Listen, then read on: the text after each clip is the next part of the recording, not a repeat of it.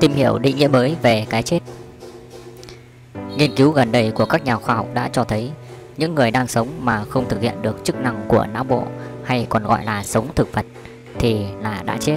Còn những người khi tim và hệ hô hấp ngừng hoạt động trong khi não bộ vẫn có thể hồi phục thì chưa phải đã chết.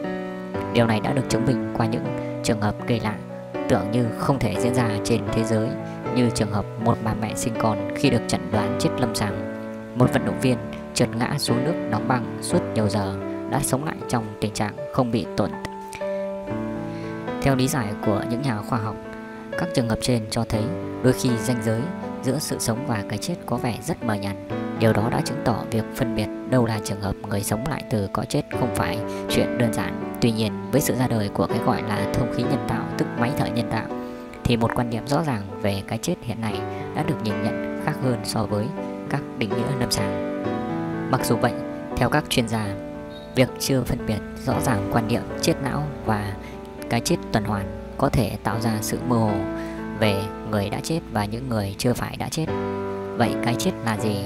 Mặc dù được sử dụng thường xuyên, song thuật ngữ chết lâm sàng không thực sự có một ý nghĩa nhất quán.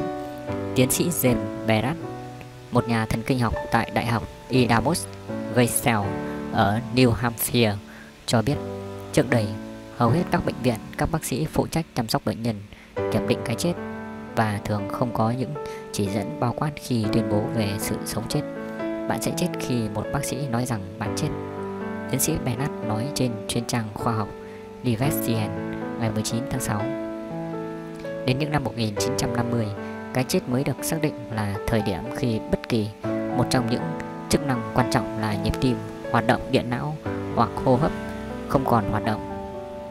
Từng thành phần của hệ thống này ngừng hoạt động sẽ dẫn đến những thành phần khác ngừng theo và dẫn tới cái chết. Tuy nhiên, theo Bennett, với sự ra đời của kỹ thuật thông khí nhân tạo, trong đó việc đẩy không khí vào và ra khỏi phổi đã tạo ra một phạm trù mới được gọi là chết não. Thông khí nhân tạo có thể giúp cơ thể người ấm áp và máu lưu thông, thậm chí có thể chống lại nhiễm trùng, nhưng khi chết não thì họ hoàn toàn không có chức năng của não. Leslie Westin, một nhà triết học tại Đại học Hoàn ở Ohio, người nghiên cứu về các định nghĩa cái chết. Một người được tuyên bố chết não khi người đó không thể hồi phục tất cả các thành phần của bộ não. Điều đó sẽ được các bác sĩ tuyên bố sau khi thực hiện các bài kiểm tra về thần kinh để tìm kiếm các hoạt động điện não hoặc lưu thông máu lên não cũng như một thử nghiệm để xem bệnh nhân có thể hay không khi tắt máy thở. Các bác sĩ cũng có thể tuyên bố người chết nếu tim của người đó ngừng đập và không thể hoạt động trở lại. Tuy nhiên, tim đôi khi cũng có thể hồi phục trở lại sau khi nó đã ngừng đập. Điều đó đặt ra vấn đề vậy thì tim ngừng đập trong bao lâu thì được xem là người đó đã chết.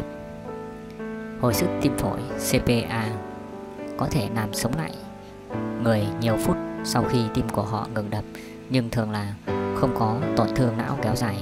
Vì vậy, các bác sĩ có thể thực hiện hô hấp nhân tạo cho người bệnh ít nhất 38 phút. Theo một nghiên cứu năm 2013 được trình bày tại cuộc họp Hiệp hội Tim mạch Hoa Kỳ được tìm thấy. Tuy nhiên, có khi bác sĩ đã cấp giấy chứng tử cho bệnh nhân ngay cả trước thời gian quy định đó. Đôi khi hô hấp nhân tạo cũng được thực hiện không đủ dài. Theo tiến sĩ Bennett, đó chính là lý do số bệnh nhân phục hồi sau khi được cho là đã chết tăng lên. Lẫn lộn về quan niệm Việc xem xét quyết định một ai đó đã chết hay chưa sẽ đòi hỏi một bác sĩ phải có sự lựa chọn để can thiệp, cứu chữa hoặc ngừng cứu chữa. Tình thế này đã làm nảy sinh một số trường hợp có thể tạo ra nhiều tranh cãi. Ví dụ, một người có thể đã được đưa vào bệnh viện và nằm trong danh sách hiến tạng khi chết khi tim của họ đã ngừng đập. Nhưng điều gây tranh cãi ở chỗ liệu rằng họ đã thực sự chết vào thời điểm đó hay chưa, tiến sĩ Bernard nói. Vấn đề ở chỗ sự phân biệt giữa cái chết não và tử vong tuần hoàn rất mập mờ, chuyên gia Westin cho biết. Điều mà chúng tôi quan tâm nhất về não bộ là một thực tế rằng nó là cơ quan hỗ trợ cho ý thức. Vì vậy, cái chết nên được định nghĩa là sự mất mát không thể đảo ngược được của ý thức Westin nói trên License hôm 19 tháng 6. Theo quan niệm của Westin, mặc dù người có tim ngừng đập hoặc não chết được cấp giấy chứng tử nhưng điều đó không có nghĩa là hai loại của cái chết. Việc cấp giấy chứng tử chỉ được đưa ra khi một người nào đó đã bị chết não. Như thế những trường hợp sống thực vật cũng có thể được coi là đã chết.